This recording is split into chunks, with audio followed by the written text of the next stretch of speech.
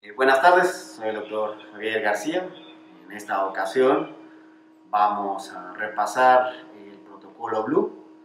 Es un protocolo empleado para el abordaje inicial de la insuficiencia respiratoria aguda que trata de englobar o descartar las cinco patologías más frecuentemente asociadas a la insuficiencia respiratoria. Estas patologías son neumonía, tromboembolia pulmonar, EPOC o asma, edema pulmonar y neumotórax. Este, en esta ocasión, bueno, pues vamos a ilustrar cuáles son los puntos. Eh, básicamente son tres puntos estandarizados, el punto superior e inferior y el punto PLAPS. Es importante para ubicar estos puntos utilizar nuestras manos que deben estar proporcionadas al eh, tamaño de nuestro paciente. Eh, ocupamos, vamos a ocupar ambas palmas y vamos a excluir ambos pulgares. Entonces, eh, colocando las palmas por debajo de la clavícula, vamos a ubicar primero el punto superior y el punto inferior. El punto superior lo vamos a ubicar en la unión de los dos dedos medios, en esta parte.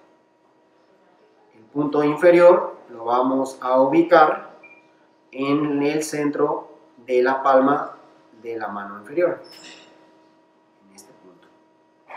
Y finalmente el tercer punto, el punto PLAPS, vamos a dibujar o a trazar una línea desde el punto inferior hasta la línea axilar posterior. Este será nuestro punto PLAPS. Bueno, en esta ocasión vamos a ocupar, eh, tenemos a disposición este transductor que es de 5 a 10 Hz, megahertz, perdón, y que nos da una profundidad hasta 9 centímetros. Eh, la idea de este abordaje es tratar de visualizar la potencial causa en un lapso no mayor a 3 minutos. Entonces, bueno, en esta ocasión vamos a, a ver los hallazgos que tenemos con este paciente siempre es importante tener en mente los datos de un paciente sano y partiendo de los datos de un paciente sano, pues buscar todos los signos este, ultrasonográficos que correlacionan con las patologías que hemos mencionado. Entonces vamos a buscar o vamos a tratar de buscar nuestro punto superior. ¿no? Punto superior en la unión de nuestros dos dedos medios. ¿no? Entonces, vamos a ver la, la, imagen que tenemos. Tenemos una costilla, otra costilla, nuestra línea pleural. Este, al conjunto de, estas, de estos hallazgos de la costilla y línea pleural, pues se le llama el signo del murciélago.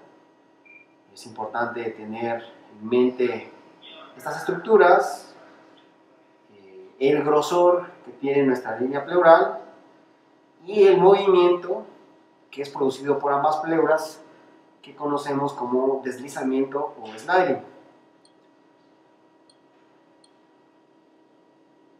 Esto pues eh, corresponde a un paciente sano, eh, se le llama patrón A y puede ser corroborado en modo M.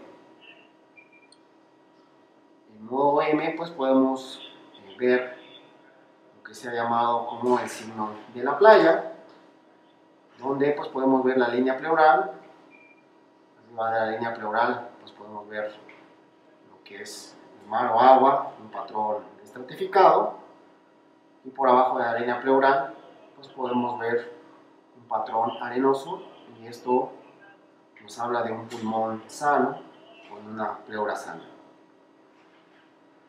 repetimos este mismo procedimiento para verificar nuestros dos puntos superiores y nuestros dos puntos inferiores.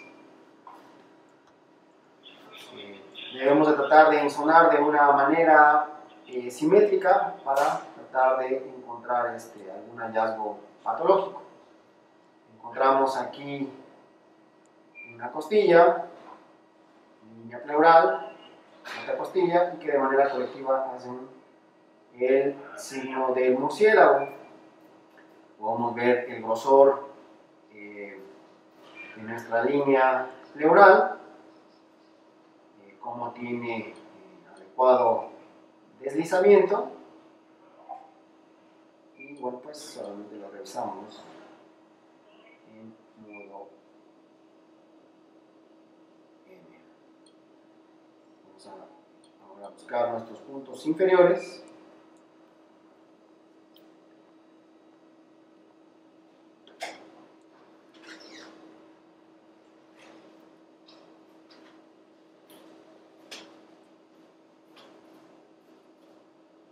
Tenemos una costilla, pleural, otra costilla, el signo del murciélago, vemos el grosor de nuestra línea pleural, cómo hay deslizamiento. Vamos a hacer una verificación en modo M.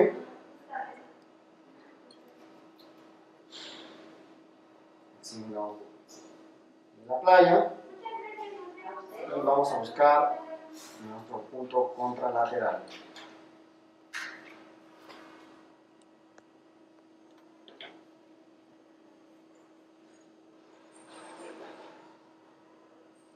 Vemos costilla, línea pleural, otra costilla. Podemos observar nuestra línea pleural que tiene un grosor normal. Podemos observar el deslizamiento y podemos realizar una comprobación en modo M. Vemos el signo de la playa.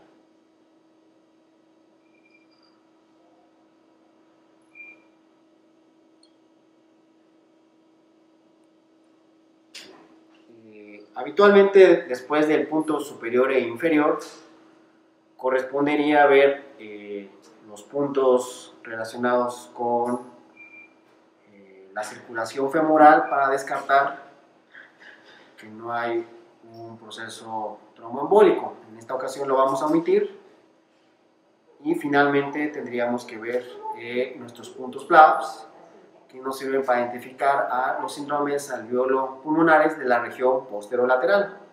Pues para esto pedimos a nuestro paciente que cruce el brazo y vamos a insonar este, entre las costillas, hemos dicho nuestro punto inferior, a nivel axilar, con la intersección de la línea axilar posterior.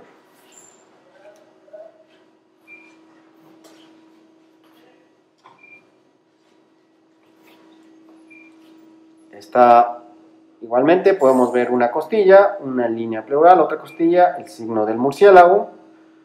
Este punto es de particular utilidad para detectar derrames pleurales, así como consolidaciones. ¿no? Podemos realizar la comprobación en modo M. Vemos el signo de la playa y hacemos nuestra comprobación contralateral. No hemos mencionado eh, otro aspecto que se llama la línea A, que es un reflejo de nuestra línea pleural y que forma parte pues, de, de un perfil normal. ¿no? Vamos a verificar nuestra región contralateral.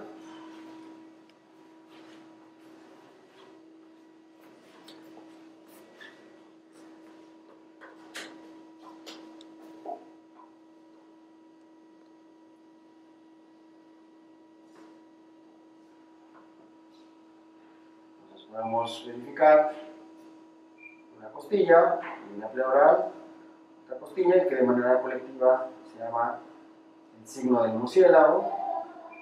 Podemos ver aquí algunas líneas A que son artefactos que se producen a partir de la línea pleural y hacemos una comprobación en modo M. Podemos ver el signo de la playa.